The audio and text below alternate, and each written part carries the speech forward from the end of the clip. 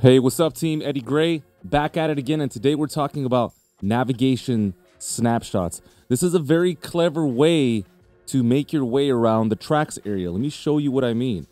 By holding the keyboard modifier Control and Option, this summons the magnifier tool. I'm going to go ahead and create one navigation snapshot. I'm going to go a little tighter still. That's number two. And then I'll go a little bit tighter still. All right.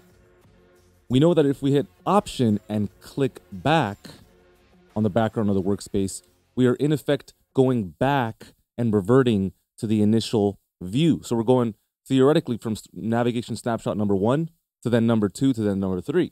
Well, what if I wanted to go back? Well, if I go into the key command window, we can see that I can navigate back by hitting Option Z, or you can navigate forward by hitting Shift Option Z. So let's check out those options. Shift Option Z takes me back to the third navigation snapshot. Option Z takes me back in time.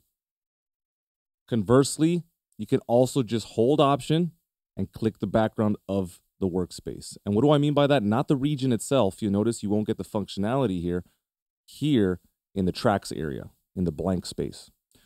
So again, to reiterate, creating a navigation snapshot. There's number one, there's number two, and I'll go really tight for number three. Now I want to go back in time. Option Z takes me back to navigation snapshot number two. There's number one, and then we're back to default. All right, now something else that we should make clear before we go is that you can actually be a bit more intentional with recording your navigation snapshot. In other words, if you want a little bit more control, I highly recommend you utilize storing your navigation snapshot. Now, what this is going to do, rather than just selecting the keyboard modifier navigation snapshots just kind of randomly, you're actually going to record them. So here's my macro view. I'm going to hit Shift Z. So now this is recording this snapshot. I will then select a wide view of these two regions, Shift Z, recording a second navigation snapshot. I'm going to go a little tighter now between these two, Shift Z, giving me a third. And then finally, just the purple region.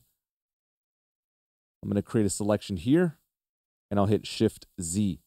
Now again, remember, we start to utilize the commands, and we can see that Shift Option Z brings us back to 2.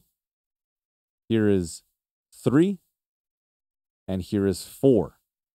Again, if I want to go back to navigation snapshot number 1, Option Z, Option Z, Option Z. Good. Now we're back to normal. Again, if you just need a little bit more information, go into the key command window, type in navigation, and you should get all the information you need right here. All right, team, you like the content, go ahead and smash that like button. Thank you very much for the support. Looking forward to serving you on the next one. Let's go!